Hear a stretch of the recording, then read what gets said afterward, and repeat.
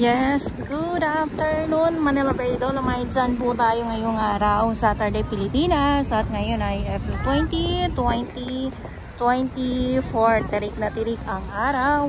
At itong ating mga kababayan na nandito ngayon sa loob ng Dolomite Sign. Good afternoon, kamusta naman po kayo? At syempre hapon na, mag-aabang tayo ng sunset. Maraming salamat sa ating Manila Bay Warriors, ang ating Estero Rangers ng DNR, MMDA, EPS Mandaragat, doon naman po sa Manila Yacht Club, at ang ating mga security guard at mga kapulisan. Kita nyo po yan, oh. Kita nyo po yan sila. Sum, hindi ko malaman kung saan sila sumisilong. Doon sa payong or dito sa may sa may araw. Charis ayan. Good afternoon. Ayan so hapon na po muli.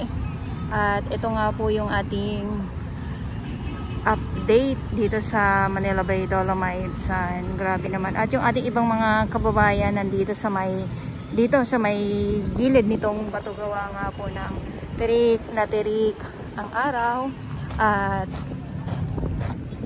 sumisilong sila. So, ang ating pulis ay pulis ang ating security guard bantay sarado gawa ng may mga may mga pasaway pa din po tayo na nandito ngayon nagtatampisaw. Bawal po kasi magtampisaw bawal magtampisaw so silip tayo dito kung meron tayong makita basura. So wala. Walang paparating na basura. Ang meron ay itong mga seaweeds na nandito. Ayan o oh. at wow. Ang linaw. Ang linaw ng dagat ang linaw. So wala oh, yun nga lang no yung isda na inaabangan ko din. At wow.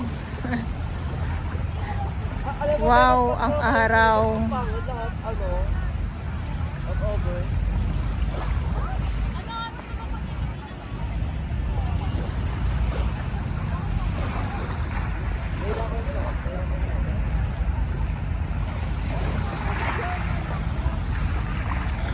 Manila Bay Warriors, maraming salamat. At syempre sa ating mga volunteers, maraming salamat po sa inyong lahat.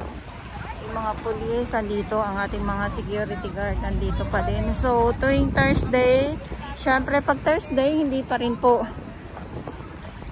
hindi pa din po uh, bukas ito sa publiko, sarado pa din sa mga nagtatanong. Magbuhukay! Magbuhukay! Ayan. Nalabas yung pinaka-ano.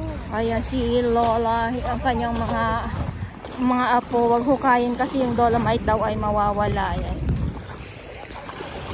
Ayan o, oh, sabi ng ating ibang mga viewers na naman, naubos, nabura na daw ang dolomite sand. Nabura na ang dolomite sand. Hinahanap ko kung kung saan napunta na naman ang dolomite sand at kung papaano nabura na na naman sino na naman ang may sala at kung bakit nabura ang dolomite sun. Anong pambura kaya? Anong pambura ang ginamit at nawala ang dolomite sun? So dito muna tayo.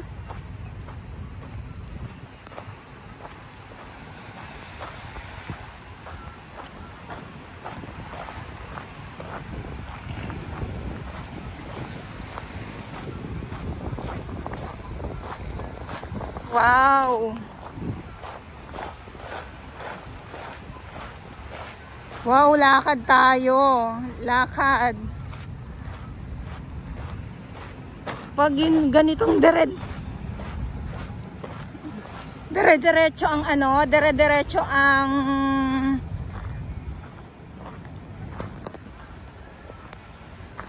ang init. Ayan, so dire-diretso ang init. Tapos pag umulan, naku po, milagro na naman ang mangyayari pag sobrang init tapos biglang ulan na naman. Ayan ang aabangan natin.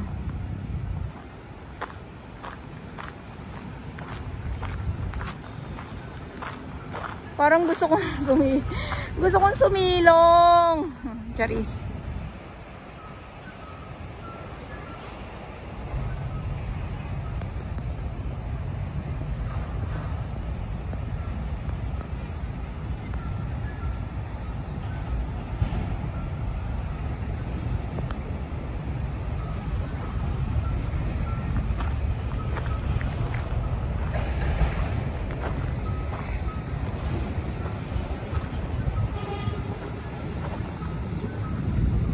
Ayan.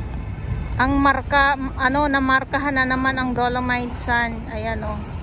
Markado na naman ang Dolomite Sun.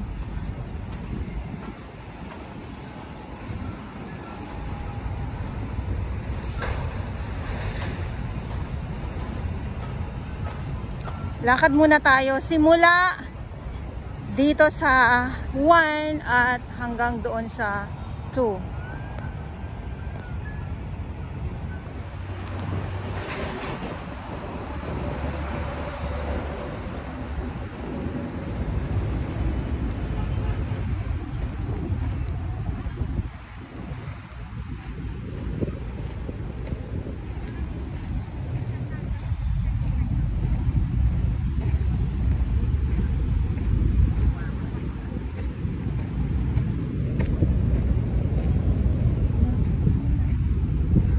Kasi wala naman tayo ibang gagawin dito kung maglakad. Maglakad. Eh kung gusto niyo naman na tumamling kayo, ay lahat coconut.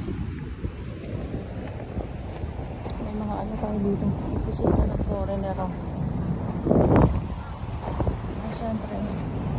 Hindi sila maka hindi sila makaligo.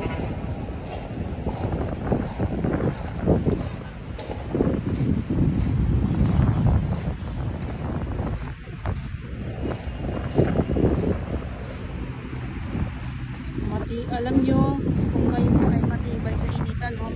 sa ating ibang mga kababayan.